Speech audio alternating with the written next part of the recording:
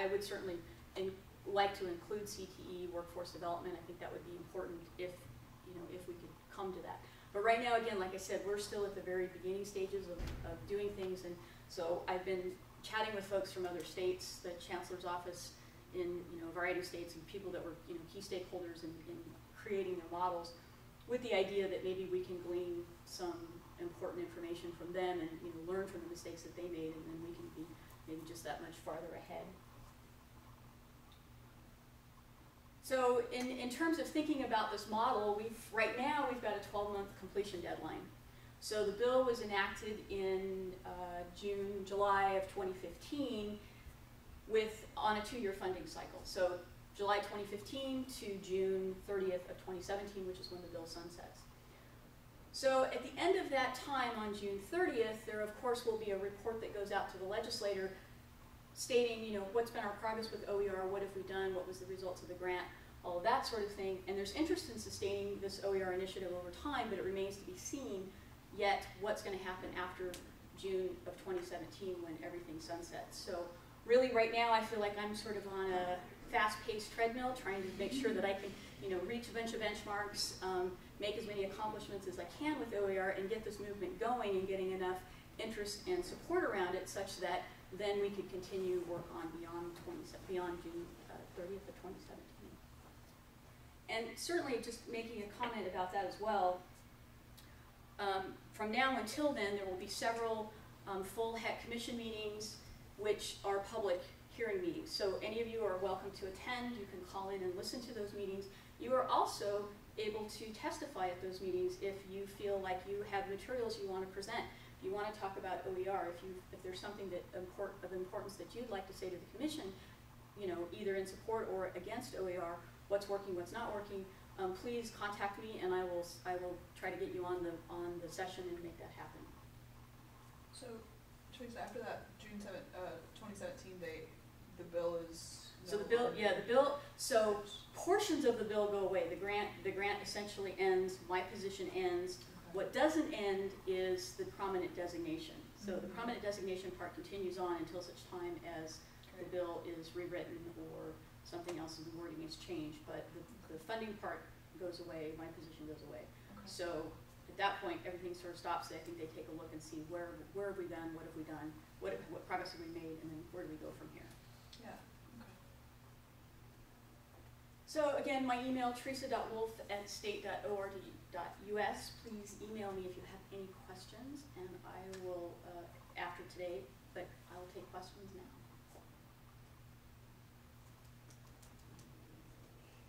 I have a quick question. Sure. You know, this idea has kind of been floating around about um, the word mandating, and so I'm just curious because faculty are talking about this and saying, you know, will the state at some point mandate that a certain number of courses be OER, or is there any discussion of that, or Not unless just a- somebody creates a bill around that. right? It's just a recommendation that we would really like this to happen. Got it. I think, I think right now there's, there's a general, just nationwide, well, there's a global movement, if you look at the, at the OER OER global map that I have posted up on the HECC website. Um, and I think Amy may have it, you have it posted on No, I don't have it posted posted on in Oregon. Um, uh, so you can go to the HECC website to find it. But there's certainly a concern about the cost of textbooks for students everywhere. What, you know, going to, going to college now is super expensive. The books have gotten increasingly expensive over time. And now there's a new way to be able to do this. And for me, as a former faculty member, I think it's, it's sort of exciting because it's a way to be able to take material that's out there and create your own new material that then you can use with your students. So to me, that feels like it's more of a better fit because you're not trying to take somebody else's work and then work it around, work curriculum in around how you teach. You can actually create materials based on your teaching pedagogy, based on your teaching philosophies, and really do students a better service. But no, I I I doubt that, I mean, I can't say for sure because I can't predict the future, but I, Sure. I can't even imagine, and I don't know of any other states off the top of my head that mandate use of OER. Um, And, and again, really, it is still all, all up to, I mean, the idea is that faculty still have a choice in what they, what and how they choose materials for their courses. So I can't see that anybody would ever determine, say that you have to do that. I really love Wisc-Online. Um, What about that one? CTE. Oh, awesome. I'm all about micrometers. Um, and, um, so having access, uh, I think I was talking, um, when you had stepped into the room, um, about looking for that technical support for graphics, you know, I mean, we can all do death by PowerPoint, Mhm. um, and, and of course, I'm really interested in the interactivity, you know, as we begin to go to more online, uh, sessions. However, I'm not the, um, I don't have the technical expertise to be able to make the materials what's in my mind's eye. Ah, And so I'm, I'm interested in, you know, what is the, the pathway to technical assistance um, for graphic um, or whatever other needs I might be talking about that I'm not able to articulate right at the moment. Right. Um, but to make that, um, make those materials like a Wisc-Online, you know, where they're available and static and stable. Yep. Um, So I, I would say that, that technical assistance is probably gonna have to come from within your institution first, because everybody's using different learning management systems, everybody has different sort of platforms that they work on. So what may work for one may not necessarily work for another, so that would be the first place I would start. But then two, um, getting onto things like the Basecamp discussion board, Amy's uh, Google Groups, and having discussions with faculty across other institutions, I think would be a really great idea of, you know, I have this idea, how do I make it happen? And, you know, and to me, having, forming those collaborations and having those discussions about, um, certainly the technical aspects of it, um, cause I've certainly struggled with putting up a web page before and having to sort of quick on the fly learn HTML programming, that, you know, there are, you know, if there's an easier way to do it, um, and I have some ideas, and I've been sort of chatting with Amy also about creating some webinars around things, so maybe that's something that we could think about doing, is, um, you know, creating, you know, just some base webinars on, you know, how, to- how, if you wanted to get a book printed, what would be the process you'd go through it? If you wanted to get materials up and use them, how, what, so in fact, I've even been using a tool recently called YouSeeU that is, um, really sort of, it's really interesting. Um, and it's sort of a video interactive platform that allows you, if you're teaching online, to be able to, um, present a question and you can do it randomly to a student. So you assign students, you, know, might, you might record yourself doing five different questions. And then when the student logs in, they're gonna randomly get assigned one of those questions. So it's almost like they're just being called on in the class. And then they get recorded giving their answer and you can give them, you know, they have to do it in the first shot or they get two tries to do it or, you know, et cetera, et cetera. So I think things like that. Is YouSeeU, uh, letters or words? It's words, it's Y O U S E E and then the letter U at the very end. Okay.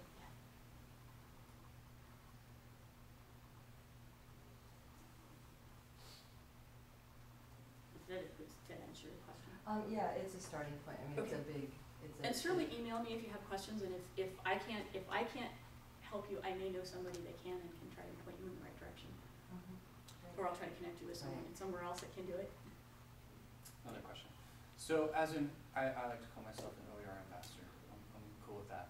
So, uh, one of the things that I'm coming into conflict with, and I would love your opinion on this, are faculty that we are encouraging this, but they have very concerns, you- they have concerns, as you mentioned, their bar- the barrier of, um, quality. So they're concerned about the quality and they don't believe that the quality is good and what they can find out there or it's too difficult to find. What do you recommend, uh, talking points perhaps to, um, keep the conversation going with faculty? Certainly, we're not forcing them, we're not mandating them, but we want to at least encourage, if you will. Yeah, so that actually is a really, really good question. Um, cause like I said, I've, I've certainly used textbooks before that were really bad quality. I mean, that could be a, an, an easy starting point, I think, is to say that, you know, there are, are books out there that aren't of high quality and sometimes you're forced to use it because that's all there is. But the beauty of OER is that you can find maybe multiple sources and I think maybe sometimes this is where the disconnect comes in. Uh, Faculty say that, oh, you know, I, I can't find anything that's high quality. It's like, okay, well, tell me how many things you did find. Did you find ten? Did you find five? Did you find twenty? And can you take bits and parts of those and put them together as a new OER for yourself that really does fit your curriculum? Because maybe something that they don't think is high enough quality, maybe it has one little bit of pearl of information in there, one section that really seems relevant for their course or they really like, but then the rest of it's like, eh. And I certainly had textbooks like that where it's like, oh, there was one chapter that was great, the rest of it I didn't, and why do I want a student to spend eighty dollars for a book, I'm only gonna use one chapter out of it. So I think that might be, might be talking points to, to start with.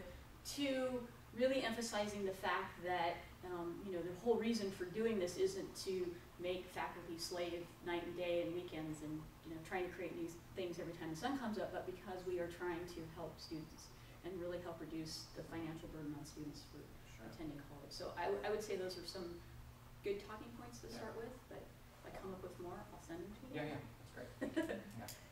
Also, as Teresa mentioned earlier, there are repositories that contain peer reviews. And so, in addition to the points that you just made, you can also say, um, I'm not an expert in your field, I'm not a judge of quality, you really need to evaluate it for yourself, check out the open textbook library, check out the reviews from other faculty in the discipline. Um, peer review is how academics agree to determine quality, so that's really persuasive to have that. Yep, and just, and just like a journal article might be peer reviewed, uh, OER textbooks from, you know, quite a few of the repositories are peer reviewed, and you are all certainly welcome to review books on those, or materials on those sites, you can sign up and they'll, they'll like, you know, they'll go through, goes through a review process and, you know, you give them your credentials and all that sort of thing. So, um, so I would highly encourage that, cause then that sort of gives you an idea of what's the peer review process going through. Um, Great.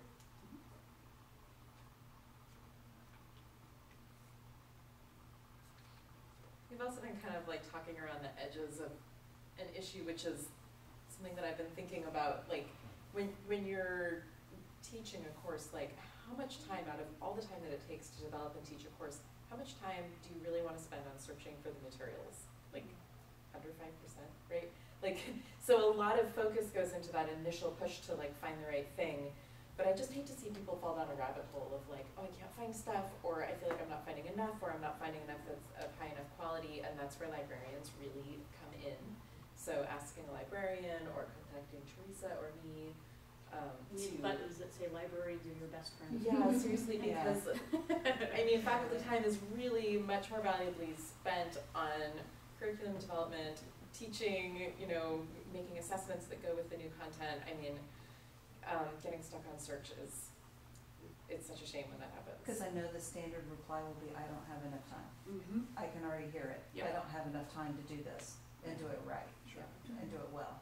I think that's probably a key piece right there. Oh, time is huge. I And know it is as for we me. adopt a career technical, I mean, they're gonna even say that more, because Sure. it's so much more difficult. I mean, if I'm looking at how to read a dial caliper, I mean, I've, I've been looking, you know, For months, uh, yeah, for Yeah. years. yeah. You know, I go back and I read through and it's like, okay, what's doing this? So then I have to create it myself and then I don't have the technical expertise to create the materials myself.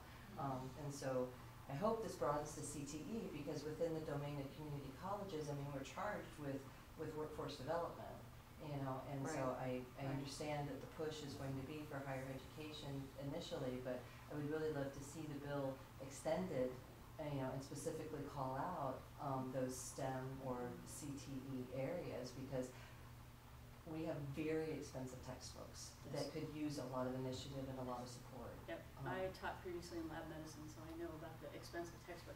But actually, your comment just sort of brings me back to the question that you had, and then something I had had a conversation with about, with someone the other day, is, um, you having a question about how do I technically, how do I do this technically? This is a great way to bring your students in. So if you've got students that have technical knowledge and you've got them in a class already and they're using calipers or micrometers or, you know, any other kind of, you know, instrumentation, spectrophotometers, I've had, and I certainly know that I have had students in my classes that were amazing illustrators and, you know, doing all kinds of other things, and they, you know, they'd show me the stuff that they did. This would be a great way, and especially for faculty that say, I don't have enough time, assign them, and make it, make it an assignment. Put it, put it as part of your curriculum and say, oh, you know, I, we need to find a good resource for this. So, and it, one of the examples I had was, um, um, a course that I was teaching previously, and, and realized this is medicine, so I was teaching urinalysis. um, and students needed to learn several different disease processes that um, were based, that you know, diagnosis was based on, on urine findings. So what I did was I needed a series of case studies, and I could not find a book with a significant number of case studies that was kind of scattered all over. So what I, what I did for the, with them, with this entire group, and of course I had fifty students, was I assigned them in pairs or in groups of three, and I said, okay, you've now got this disease process, write me a case study for this. And I want you to present it to the rest of the class, just like you're doing, just like you'd be doing at grand rounds if you were at the hospital and you were presenting to other physicians. Let, let me see you do that.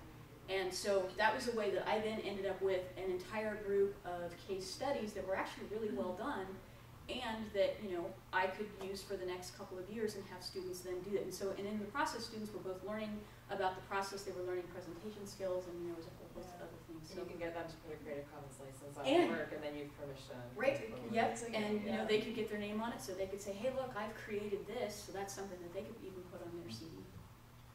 That totally leads to my question, because I'm, I'm really interested in that kind of next step of like the OER pedagogy piece, and so does the bill have any kind of support around that, or are people interested in that, or, I mean, because we're talking about sort of repositories for textbooks and things like that, and I'm more interested in not necessarily adopting textbooks, but helping instructors see how students can create their own, Problem solved together. right, Yeah, yeah, yeah, and then exactly. all these problems we're talking Flipping about, the paradigm. Right, you know, Yes. around, well, I don't have time to find it, or, you know, is it good quality?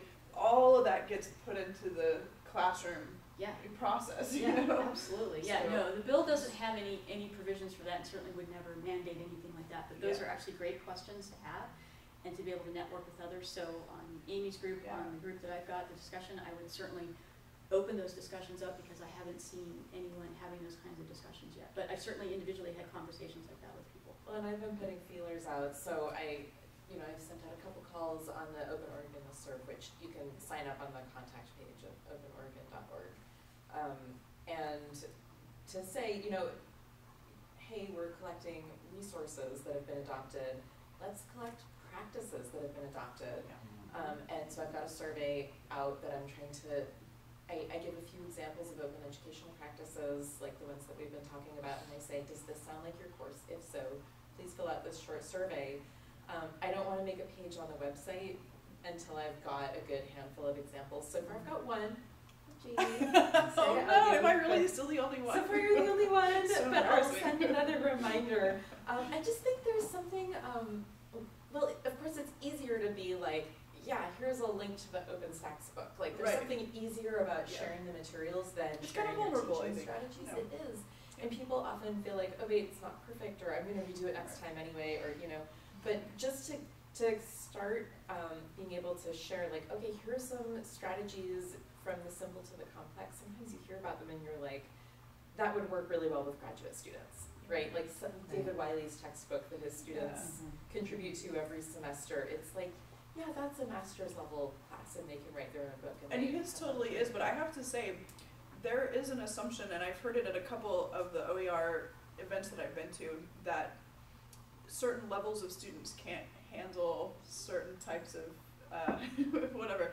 And, um, and I just, in my experience, I disagree, you know, I've, I've taught developmental students for years, and they will step up to the plate and they will find really interesting, they will come up with Resources? some really pragmatic problems to solve. they Yeah. sure will. Yeah, mm-hmm. And, that, you know, that the other students wouldn't even consider. Yeah, and information literacy is like one of the most important skills we teach in higher ed, and I just think that, you know, why not Absolutely. incorporate that into everything? Mm-hmm. Absolutely. So having them demonstrate that they've mastered those learning objectives in a way that contributes back to the course or contributes, you know, in some way beyond what David Wiley calls the disposable assignment.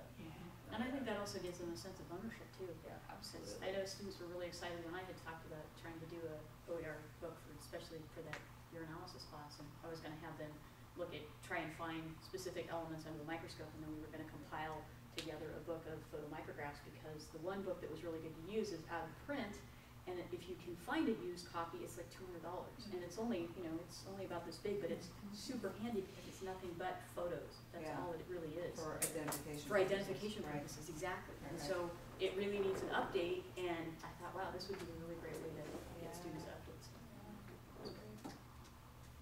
Uh, Cola Watts talks about, um, making an open nutrition textbook with a team at Pierce College, and she said that they got to the chapter on vitamins and they just couldn't stand the idea of making the chart with the vitamins and their properties. And finally, they were like, "Oh, we'll just assign it to the students. We'll make them do." so you know, okay, take a vitamin. Tell me what it does. Where do you find out what does it do for your body? Um, so Crowdsourcing information. yeah, Yeah. I'm probably exaggerating. It probably wasn't like that in that room, but That's cool. So, um, do we have any other questions or? We'll do it. Teresa, that was Yeah, really thank that. fantastic. Oh, thank That you. was fantastic. Very Thank you. Oh, Thank you for your time. Very much. So, do you have business cards? I with do, you? I Okay, so if you can give us some of your business cards, then we will distribute this, um, video to all of our, um, Yeah. employees that were unable I to know attend. what you said. And I know that we have received it very, very, thank you so much. Oh, yeah, thank you so much, yeah, I appreciate you having me out here, it was Yeah, fun. absolutely. Trying to Yeah. get more students involved in that because it seems like the iBest, um, Teresa, I'd love to connect with these, Program. or, uh, is, the, I think the they have university stuff that you're trying to yes, accomplish, yes. so.